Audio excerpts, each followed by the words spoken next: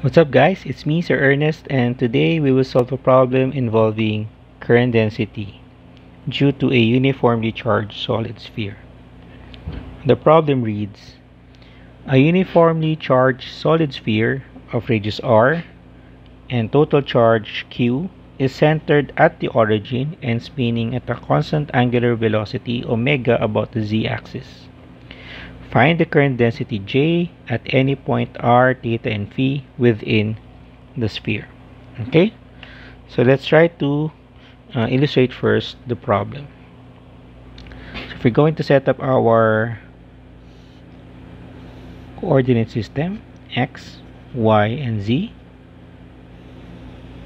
So this is your sphere and it's already set that it is mo uh, moving about the z axis. Okay. Sorry about this. So the particle uh, the sphere is moving along this direction. So that means the angular velocity omega is along the z direction. Okay? So let's say uh, this is your sphere.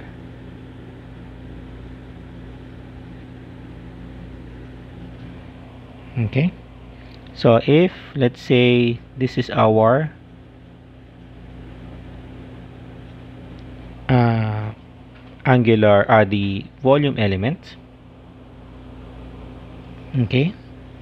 This direction this is actually said to be this is uh if this is r this is theta this is r sine theta. Okay? Okay. Now if you're going to look at the view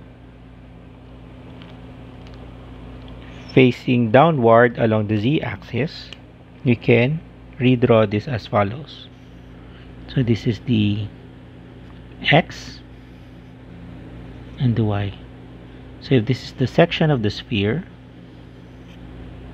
okay, this one is the projection of this element. Okay, so we know that this length is r sine theta. As mentioned here that the that the velocity the linear velocity of this element would always be tangent to the radius r sine theta in this projection. So therefore, the velocity the magnitude would be r sine theta times omega. So remember that this is your omega. So this is omega r sine theta.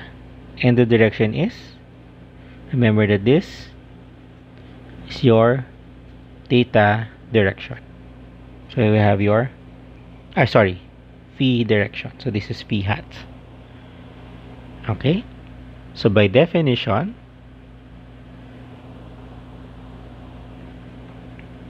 the current density J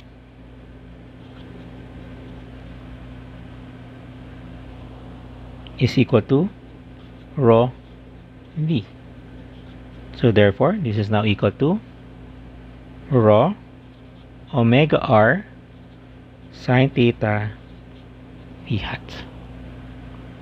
Okay. Here we define rho as the total charge Q over the total volume.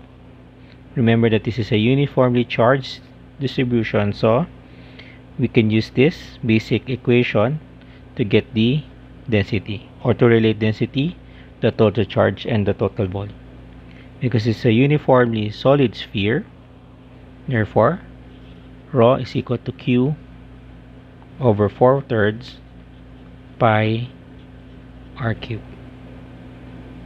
So therefore, the final answer would be j is now equal to what? Is now equal to 3 q omega r divided by 4 pi r cube sine theta phi hat. So you will notice that this is j is now a function of r, theta, and phi.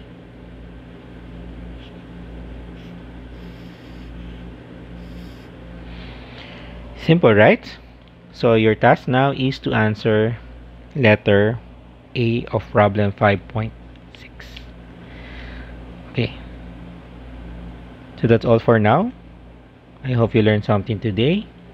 And I'll see you guys in the next video. Bye-bye.